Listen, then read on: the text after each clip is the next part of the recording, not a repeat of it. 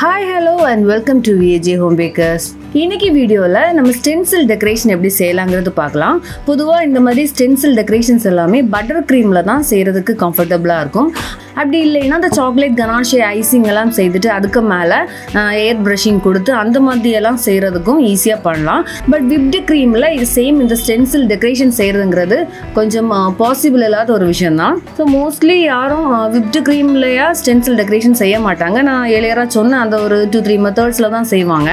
But நம்ம mostly இந்த whipped க்ரீமில் தான் ஐசிங் எல்லாமே செய்கிறோம் ஸோ அதே விப்டு க்ரீம் யூஸ் பண்ணி ஸ்டென்சில் டெக்கரேஷன் எப்படி செய்யலாங்கிறதா இந்த வீடியோவில் நான் உங்களுக்கு சொல்ல போகிறேன் நியூ டைப் டெக்கரேஷன்ஸ் கற்றுக்கணும்னு ஆசை உள்ளவங்க ஸ்கிப் பண்ணாமல் லாஸ்ட் வரைக்கும் வீடியோ பாருங்கள் அப்போ தான் சொல்ல போகிற சின்ன சின்ன டிப்ஸ் எல்லாமே உங்களுக்கு கரெக்டாக தெரியும். அது மட்டும் இல்லை வீடியோ மறக்காமல் லைக் பண்ணுங்கள் கமெண்ட் பண்ணுங்கள் என்னுடைய வீடியோவை சேனலை சப்ஸ்கிரைப் பண்ணாமல் பார்த்துட்டு இருக்கீங்கன்னா சப்ஸ்கிரைப் பண்ணி சப்போர்ட் பண்ணுங்கள் வாங்க வீடியோக்குள்ளே போகலாம் ஸோ இந்த கேக் பார்த்தீங்கன்னா ஒரு த்ரீ டயர் கேக்கில் டாப் டயரில் நான் டெக்கரேஷன் கொடுத்தது தான் இந்த ஸ்டென்சில் ஒர்க் ஸோ இது பார்த்தீங்கன்னா ஒன் டைப் ஆஃப் டெக்கரேஷன் அதுவில் இது எப்படி செய்யணுங்கிற ஒரு வீடியோ நான் இதுவரை அப்லோட் பண்ணலை.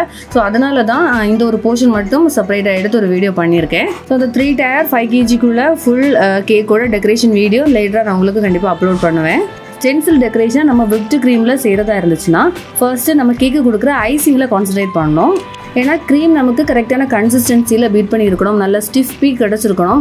ஐசிங் நல்ல ஸ்டிஃபாக இருக்கணும். அப்படின்னா மட்டும்தான் நமக்கு ஸ்டென்சில் விப்டு க்ரீமில் நமக்கு செய்ய முடியும். ஸோ உங்களுக்கு நல்ல ஸ்டிஃபாக க்ரீம் பீட் பண்ண தெரியல அப்படின்னா நான் வந்து ரெண்டு மெத்தடில் பிகினர்ஸ் அப்புறமா அட்வான்ஸ்டு மெத்தட் அப்படி ரெண்டு டைப்லையா விப்ட் க்ரீம் எப்படி பீட் பண்ணுங்கிற வீடியோ அப்லோட் பண்ணியிருக்கிறேன். லிங்க் டிஸ்கிரிப்ஷனில் கொடுக்குறேன். என்னோடய வீடியோ ஃபஸ்ட் டைமாக பார்க்குறவங்களா இருந்தால் அந்த வீடியோ பாருங்கள் ஸோ இந்த ஐசிங் கொடுக்குற இந்த க்ரீமுக்கு நான் லைட்டாக ஒரு எல்லோ கலர் ஜஸ்ட்டு ஒரு ட்ராப்பு கூட இல்லை டச் பண்ணி மட்டும் தான் எடுத்திருக்கேன். அப்போ தான் நமக்கு இந்த மாதிரி ஒரு ஆஃப் ஒயிட் கலர் மாதிரியாக கிடைக்கும். எப்போவுமே கொஞ்சம் டெக்கரேட்டிவாக உள்ள கேக்கில் எல்லாம் பியூர் ஒயிட்டில் ஐசிங் கொடுக்குறத விடவும் இந்த மாதிரி ஒரு லைட் ஒரு கலர் சேஞ்ச் கொடுத்து நம்ம ஐசிங் கொடுத்தோம்னா பார்க்குறதுக்கு நல்லாயிருக்கும் அதை மாதிரியே கேக்குக்கு பர்ஃபெக்டாக ஐசிங் கொடுக்க தெரியலைன்னா எப்படி ஐசிங் பண்ணணுங்கிற வீடியோவும் அப்லோட் பண்ணியிருக்கிறேன். அதோட லிங்கையும் நான் டிஸ்கிரிப்ஷனில் கொடுக்குறேன். ஐசிங் முடிச்சதுக்கு அப்புறமா கேக்கை ஃப்ரிட்ஜில் மினிமம் டூ ஹவர்ஸ் ஆகுது. நம்ம செட் பண்ணதுக்கு அப்புறமா தான் ஸ்டென்சில் டெக்கரேஷன் ஸ்டார்ட் பண்ணோம். அப்போ தான் நமக்கு இந்த ஐசிங் பண்ண க்ரீம் நல்லா ட்ரை ஆகி கிடைக்கும். ஸோ இப்போ மேக்ஸிமம் ஃபைவ் ஹவர்ஸ் வரைக்கும் நம்ம ஐசிங் முடித்து ஃப்ரிட்ஜில் ஸ்டோர் பண்ணலாம் ஒன்றும் செய்யாது. நான் அதுக்கு மேலே நம்ம ஃப்ரிட்ஜில் வச்சுருந்தோம் அப்படின்னா அந்த ஐசிங் அந்த க்ரீம் மேலே வந்து கிராக் விழ ஆரம்பிக்கும். ஸோ இந்த ஓவர் நைட் ஐசிங் செய்து ஃப்ரிட்ஜில் ஸ்டோர் பண்ணக்கூடாது. அதுக்கப்புறமா இந்த ஸ்டென்சில் டெக்கரேஷன் கொடுக்க போகிற க்ரீம் அது வந்து ரொம்ப லூஸாக இருக்கணும். அது ஆக்சுவலி தண்ணி மாதிரி வடிகிற மாதிரி ஒரு ஸ்டேஜில் இருக்கக்கூடாது. பட் நல்ல லூஸான ஒரு ஸ்டேஜ்லேயே இருக்கணும். ஸோ அதுக்கு ஸ்டிஃபாக இருக்கக்கூடிய க்ரீமை நம்ம கொஞ்சம் நேரம் ஸ்பேச்சுலாக வச்சு மிக்ஸ் பண்ணிகிட்டே இருந்தாலே போதும். ஆட்டோமேட்டிக்காக நல்ல லூஸ் ஆகி கிடைக்கும். ஸோ இந்த கலர் பார்த்தீங்கன்னா ரோஸ் கோல்டு கலர் நான் இதை எப்படி மிக்ஸ் பண்ணி எடுத்தேன்னா பிங்க் கலர் அப்புறமா கொஞ்சமாக எல்லோ கலர் இந்த ரெண்டையும் கம்பைன் பண்ணி தான் இந்த மாதிரி ரோஸ் கோல்டு கலர் கிடச்சிது. க்ரீம் பார்த்தீங்களா நல்லா லூஸ் ஆகிடுச்சு இந்த மாதிரியான ஒரு கன்சிஸ்டன்சியில் தான் இருக்கணும். அதாவது வடிஞ்சு போகக்கூடாது.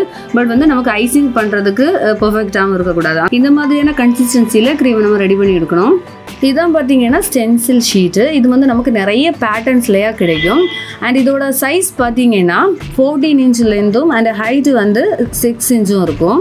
அண்ட் இது பார்த்தீங்கன்னா அந்த ஷீட் வந்து ரொம்ப தின்னாக இருக்கும். என்கிட்ட வேறு மாடல்ஸ் இருக்குது உங்ககிட்ட காமிக்கிறேன். இது வந்து சேம் மாடல்லே உள்ள வேற ஒரு பேட்டர்ன் ஸோ இந்த ஷீட் பார்த்தீங்கன்னா நான் கேக் மெட்டீரியல் ஷாப்லேருந்து வாங்கினேன். எனக்கு ஒரு ஷீட் வந்து ஒன் டென் ருபீஸ் ஆச்சு.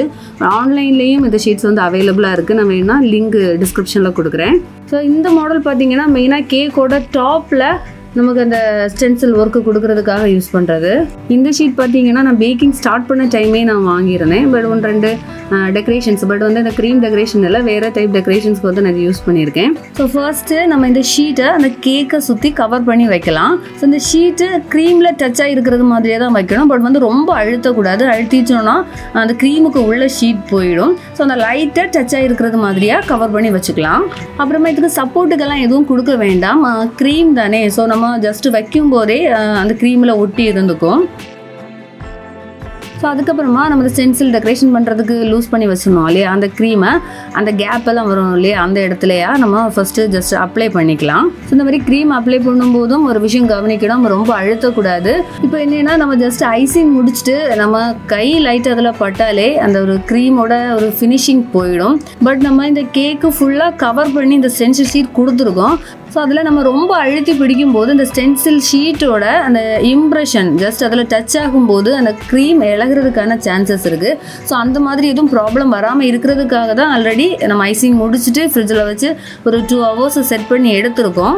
அப்படி நம்ம செட் பண்ணி எடுத்தாலுமே கூடுதல் அதில் அந்த ரொம்ப அழுத்தி பிடிக்காமல் பார்த்துக்கணும். ஸோ அந்த க்ரீம் வந்து நமக்கு அந்த பேட்டர்னோட கேப் எங்கெல்லாம் இருக்கிறோ அந்த கேப் எல்லாம் ஃபில் ஆகிறது மாதிரியாக பேலட் நைஃப் யூஸ் பண்ணி எல்லா இடத்துலையுமா நம்ம அப்ளை பண்ணி விட்டுக்கலாம்.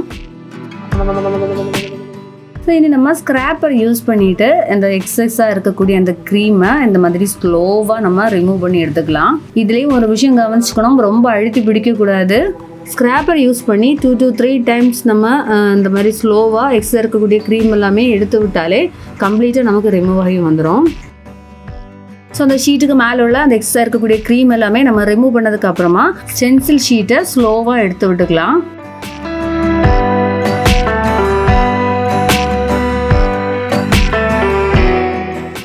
ஸோ அந்த ஐசிங் பண்ண க்ரீம் பார்த்தீங்களா? ஸ்டென்சில் ஷீட்டில் எதுவுமே அந்த டச் ஆகி ரிமூவ் ஆகி வரலை. பட் இதில் ஒரே ஒரு சின்ன ஒரு மிஸ்டேக் ஆயிடுச்சு. என்னென்னா என்னன்னா கரெக்டாக அந்த ஸ்டென்சில் ஷீட்டும் ஐசிங் பண்ண அந்த க்ரீமும் டச் ஆகலை. லைட்டாக ஒரு கேப் இருந்திருக்கு. ஸோ அதனால் பார்த்தாலே தெரியும். அந்த ஒரு சைடில் மட்டும் அந்த ஸ்டென்சில் பேட்டர்னோட திக்னஸ் கொஞ்சம் அதிகமாக வந்திருக்கு. இந்த ஸ்டென்சில் ஒர்க் வந்து கேக்கோட ஃப்ரண்ட் சைடில் மட்டும் செய்திருக்கேன். இதோட பேக்கில் செய்யலை. இதில் வந்து கொஞ்சமாக தான் ஸ்பேஸ் இருக்குது அதனால தான் நான் பேக் சைடு செய்யலை. இப்போ வந்து செவன் இன்ச் ஒரு எயிட் இன்ச் அந்த மாதிரி கேக்கில் வந்து செய்கிறதா இருந்துச்சுன்னா ஃப்ரண்ட் சைட்லேயும் அப்புறம் நெக்ஸ்ட் இன்னொரு வாட்டி அதோட பேக் சைட்லேயும் சேம் அந்த ஸ்டென்சில் டெக்கரேஷன் வந்து செய்யணும். அப்போ தான் ஃபுல் கேக்குக்கும் கவர் ஆகி கிடைக்கும். இந்த மாதிரி சிம்பிளாக கூட உங்களுக்கு கேக்கு டெக்கரேட் பண்ணி கஸ்டமர்ஸுக்கு கொடுக்கலாம். ஸோ இந்த மாதிரி நியூ டைப் டெக்கரேஷன்ஸ் எல்லாம் செய்து கஸ்டமர்ஸுக்கு கேக் நம்ம கொடுக்கும்போது அவங்க வந்து இம்ப்ரெஸ் ஆவாங்க. நமக்கு நிறைய ஆர்டர்ஸ் வந்து கிடைக்கும். அதாவது நம்ம அந்த decoration types variety of cake models பார்த்து நிறைய ஆர்டர்ஸ் கிடைக்கிறதுக்கு சான்சஸ் இருக்குது ஸோ இந்த மாதிரி ஸ்டென்சில் டெக்கரேஷன்ஸ் வந்து விப்ட் க்ரீம்லேயே நம்மளால் ஈஸியாக செய்ய முடியும். நீங்களும் இந்த இது ட்ரை பண்ணி பாருங்கள் பார்த்துட்டு எப்படி இருந்துச்சுன்னு எனக்கு கமெண்ட்ஸில் சொல்லுங்கள் same stencil decoration air brush use பண்ணியும் செய்கிற வீடியோ லேட்டர் உங்களுக்கு கண்டிப்பாக அப்லோட் பண்ணுறேன் அப்புறமா இன்னொரு விஷயம் நிறைய நியூ சப்ஸ்கிரைபர்ஸ் விஜி ஹோம்பேக்கர்ஸ் ஃபேமிலியில் ஜாயின் ஆகிருக்கீங்க ஸோ உங்களுக்கு என்னுடைய பழைய வீடியோஸ் பார்க்கணும் அப்படின்னா சேனலில் ப்ளேலிஸ்ட்டில் போனீங்கன்னா நான் ஒவ்வொன்றும் அதாவது recipes decoration videos wedding cake decorations எல்லாமே செப்பரேட்டாக நான் தனித்தனியாக கேட்டகரைஸ் பண்ணி போட்டிருக்கேன். ஸோ உங்களுக்கு ஒவ்வொரு வீடியோஸும் சர்ச் பண்ணுறதுக்கு ஈஸியாக இருக்கும். அது மாதிரி நீங்கள் வீடியோஸ் ஃபுல்லாக பாருங்கள் பார்த்துட்டு உங்களுக்கு எதாவது டவுட்ஸ் இருக்குன்னா நீங்கள் கேளுங்க. நான் கண்டிப்பாக உங்களுக்கு ரிப்ளை பண்ணுவேன். வேறொரு வீடியோவில் மீண்டும் சந்திக்கலாம். பை